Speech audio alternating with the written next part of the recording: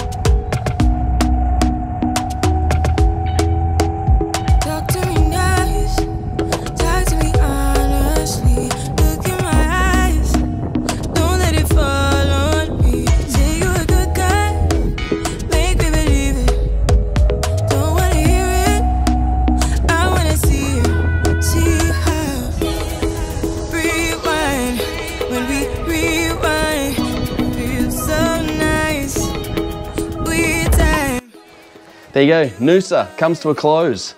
As I said, a couple of days' time, we're going to. You'll see the uh, the training track in full its full glory.